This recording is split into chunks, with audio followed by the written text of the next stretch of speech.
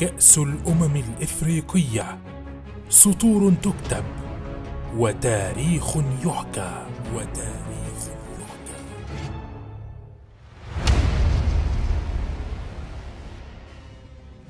في أربع منتخبات مشاركة في كأس الأمم 2019 من بينهم ثلاث منتخبات عربية حققت لقب يتيم في البطولة وهي الجزائر. حققت بطولة يتيمة سنة 90 على حساب نيجيريا في بطولة أقيمت في الجزائر.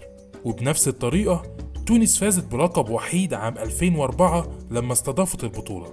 أما المغرب فسنة 76 فازت بالبطولة الوحيدة ليها في البطولة اللي كانت في أثيوبيا.